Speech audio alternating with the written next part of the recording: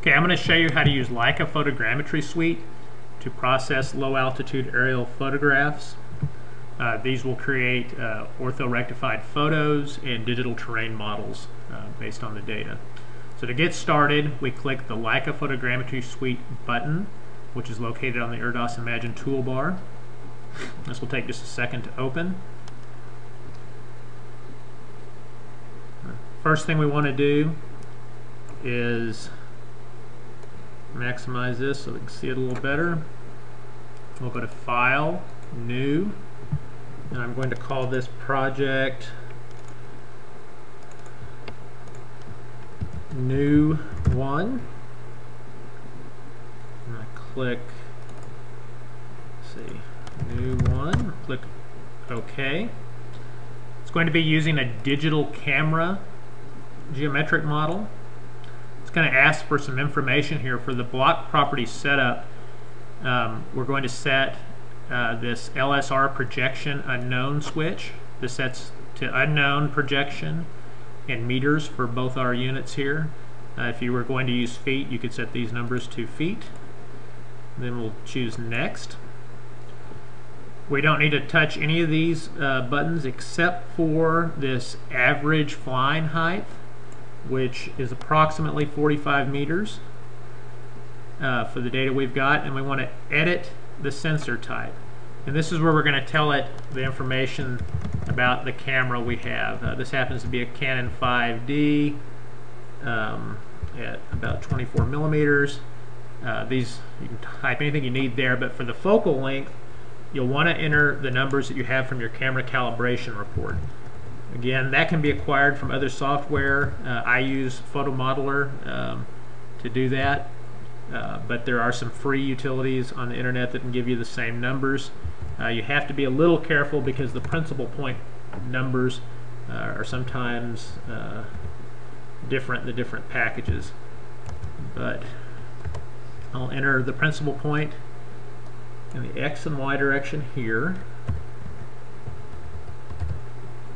Now I'm going to click OK and then OK.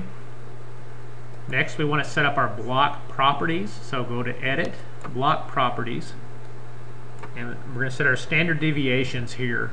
Um, these numbers um, are typically a, a lot higher uh, as defaults because they're dealing with photographs taken from extremely high elevations.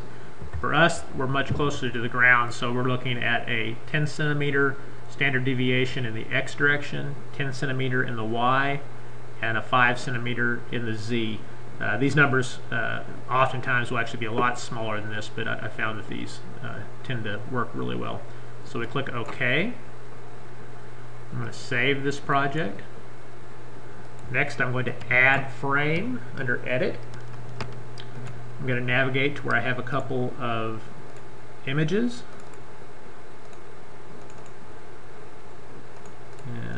We'll go down here. It's going to be image 375 and 377. These are of an archaeological site in South Korea. We want to click the plus sign next to images and highlight one of these. And then we want to go to properties. And we need to determine the interior orientation. Um, this is the pixel size of the sensor in microns that was used to photograph uh, the images. Again, this is available from the uh, camera calibration report normally. So, and I'll click apply all frames. Now we have um, this column here is turned green. Normally when I add a photograph, uh, this pyramids layer is red, uh, but because I've added these before, they already have pyramids. Uh, yours probably won't have pyramids, so you want to go to Edit, Compute Pyramid Layers, and then All Images Without Pyramids. And this will turn green if, if it was red for you previously after a couple of seconds. I'm going to click Save again. Next, I'm going to click the Start Point Measurement tool. It'll ask me which type I want to use. I want to use Classic Point Measurement tool. Click OK. Now we're going to add ground control points. uh, you'll see we have a left image, which is image 375, and 377 on the right. Now this is a little awkward the way this works, um, and there's probably some easier way, and I just don't know how to do it. But uh, we, for our ground control file, control point file, we have a set of Excel data that was uh, shows us the coordinates for each of the ground control points. Um, so we have this X, Y, and Z. Now, um, for Leica Photogrammetry Suite to read this file properly, we actually have to format it uh, into an ASCII file. Let me see if I can find that real quick.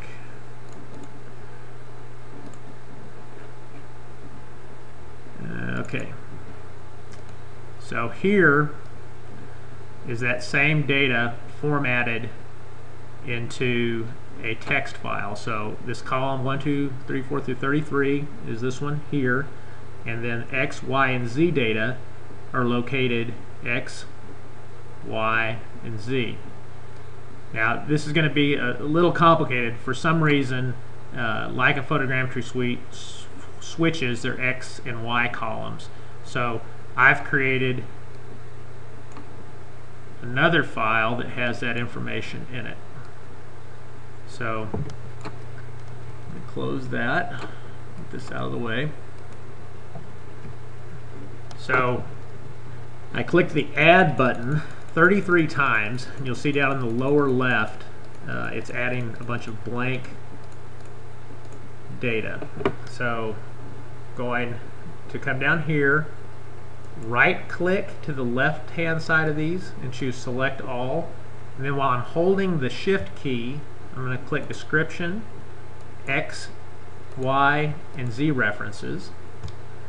Now with the cursor over the top columns I'm going to right click choose import and then I'm going to navigate to where I have placed on my C drive the ground control point file.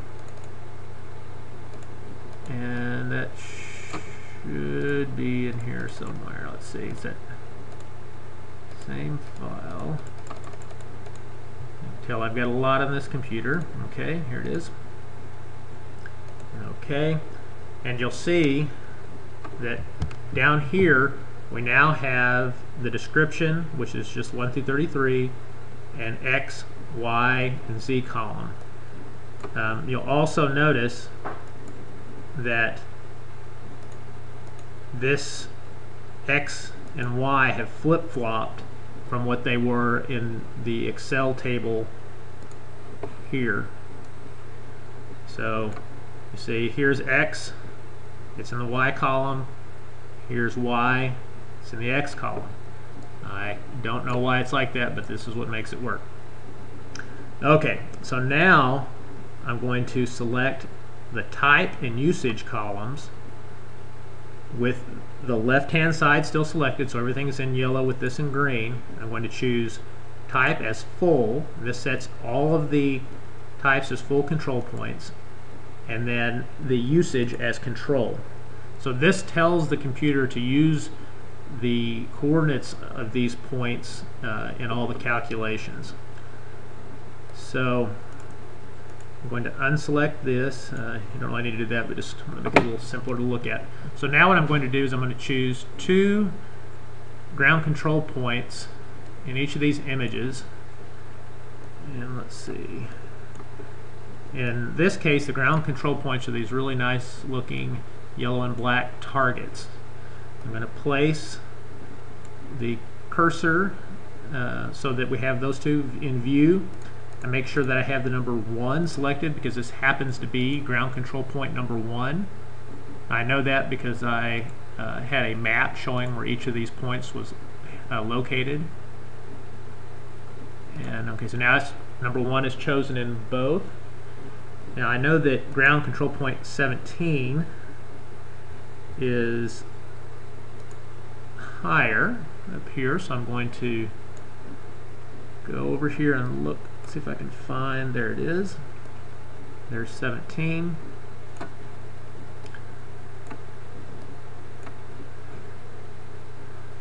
Again, I get these both selected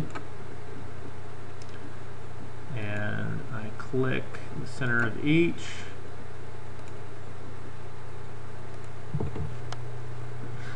now I'm going to choose this button here it's called set automatic XY drive uh, this is a pretty neat function that allows us to place um, these coordinates a little more accurately and quicker. Okay, I just noticed I had a, a problem here. Uh, I'm going to right click these and delete them. Uh, this point up here is actually number 13, so I entered the wrong one, so I can highlight 13, click these again.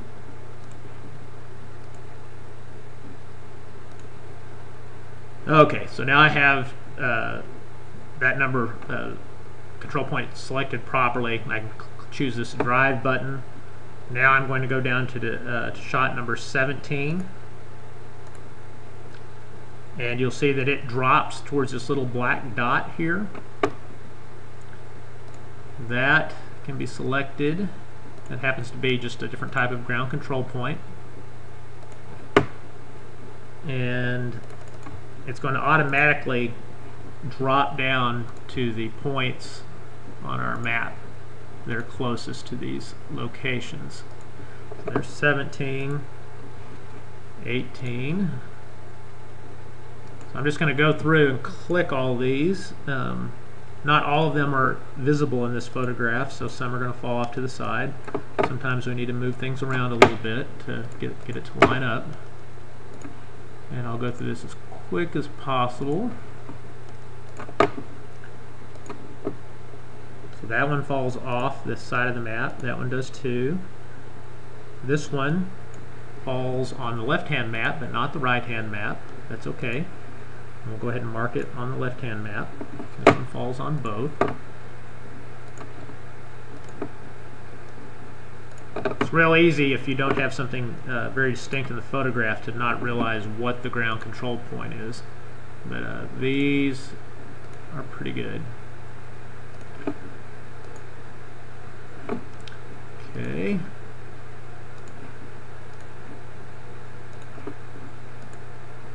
That's a real nice target. I like those. They're really nice and visible from the air.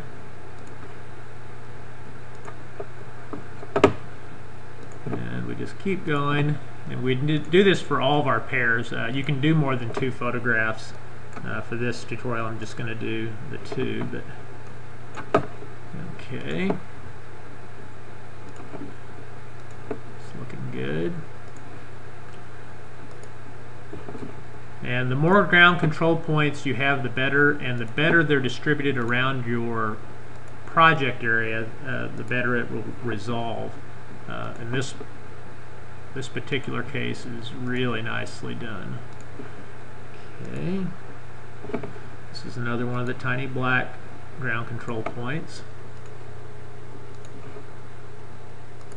Almost done here.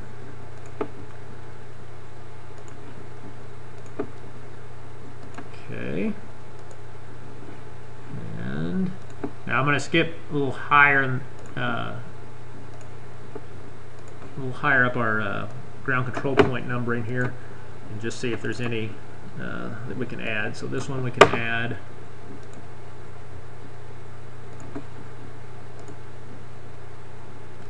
These are off the edge of the map.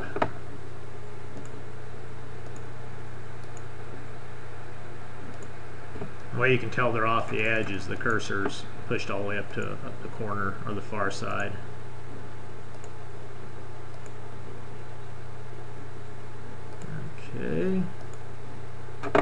1, 14.